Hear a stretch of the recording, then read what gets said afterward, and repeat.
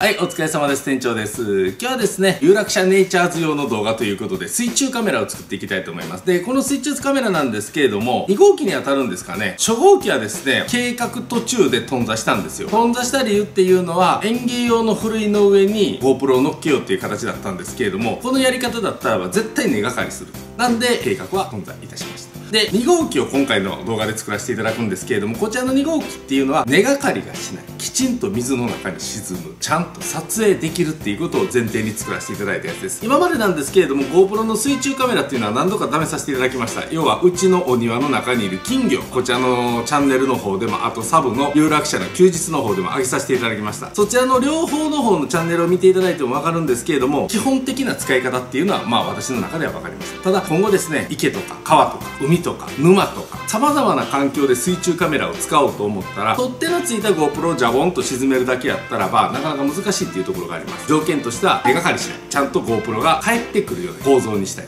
でその次に餌を入れときたい。水中にカメラをドボンとつけとくだけで魚とか生き物が映るかっていったらまあ映らんわけでもないとは思うんですけれども一応ですね釣り具屋さん等に売っている練り絵みたいなものを入れれるような場所があってそれを元に周囲の生き物を寄せていけるような構造にしたい。であとライトもつけれるようにしたい。これは必須ではないんですけれども水深の深いところでやるんやったらばライトがないと。と結局何が映ってるかはよくわからんみたいな感じになる可能性がありますんで水中ライトもつけれるっていうような構造にしてそのために機材を揃えて今から作成動画を上げさせていただきますけれどもこちらの結果までを踏まえて動画に上げたいと思いますんでよろしくお願いします。それではどうぞ。